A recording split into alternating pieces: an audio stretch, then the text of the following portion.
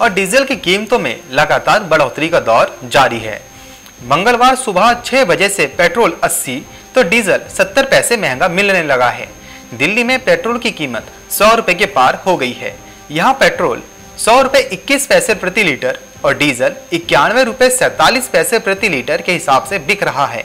इससे पहले तेल कंपनियों ने सोमवार को पेट्रोल की कीमत में 30 पैसे और डीजल में 35 पैसे प्रति लीटर का इजाफा किया था।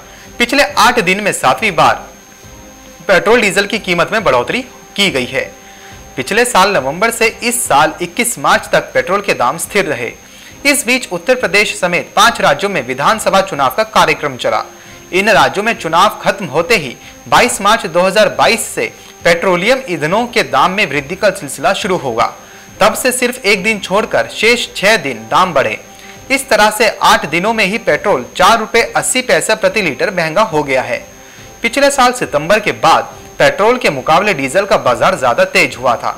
कारोबारी लिहाज से देखें तो पेट्रोल के मुकाबले डीजल बनाना महँगा पड़ता है, लेकिन भारत के खुले बाज़ार में पेट्रोल महँगा बिकता है और डीजल सस्ता।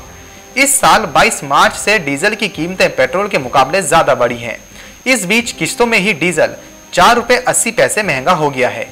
वहीं क्रिसिल रिसर्च की एक रिपोर्ट के मुताबिक, ऑयल मार्केटिंग कंपनियों के नुकसान की भरपाई के लिए पेट्रोल डीजल की कीमत में 15 से 20 रुपए का इजाफा करना होगा। इस लिहाज से देखें तो पेट्रोल डीजल की कीमत में अभी और 18 रुपए की बढ़ोतरी हो सकती है। Report, Market Times TV.